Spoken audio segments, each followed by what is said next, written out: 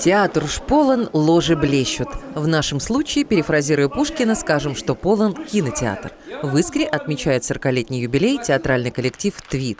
И, как обычно, аншлаг.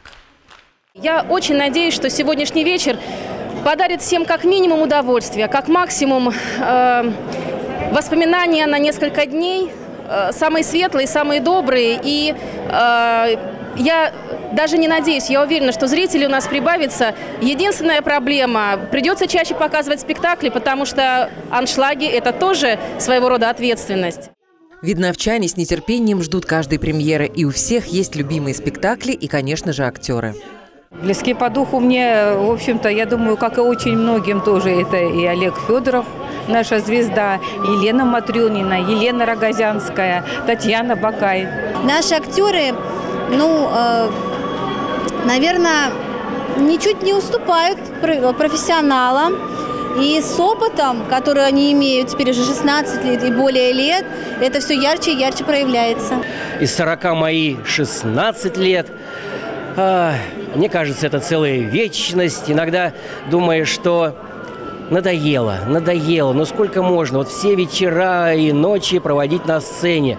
А потом, когда втягиваешься в спектакль, когда э, роль получается, когда зрители аплодируют. Это такой заряд, что каждый раз хочется по-новому, по-новому, по-новому выходить, выходить и играть, играть, играть. Театр Твит любительский, а это значит, что сюда приходят те, кто любит запах кулис, репетиционный процесс, свет рампы и жизнь на сцене.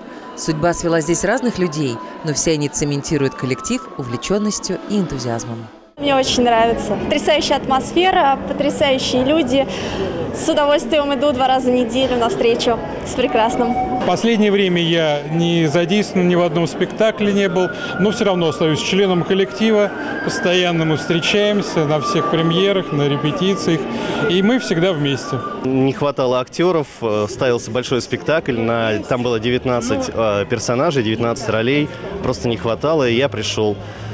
Не пожалел? Нет, не пожалел абсолютно, потому что мне все очень понравилось, и я остался, и меня приняли, и я до сих пор участвую и буду участвовать еще много-много лет. Сценарий юбилейного вечера предложили сами участники коллектива. В год кино выбор пал на мизансцены из известного фильма «Москва слезам не верит». Театральный капустник не оставил зрителей равнодушными. Мне хотелось бы сегодня спросить, а любите ли вы театр так, как люблю его я? И я уверен, что здесь нет ни одного человека, который хотел бы ответить «нет». Мы вас любим. С юбилеем! Глава района не только наградил действующих актеров, он также преподнес подарки. Один из них наиболее важный.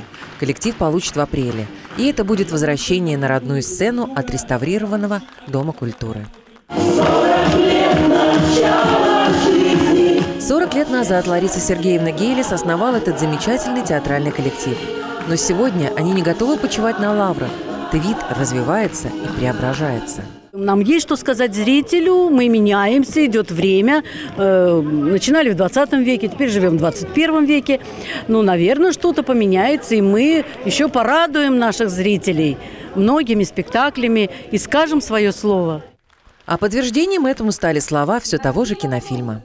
Я точно знаю, что в 40 лет жизнь только начинается. Елена Бабина, Владимир Бежонов, Анастасия Нурхонова. Видное ТВ.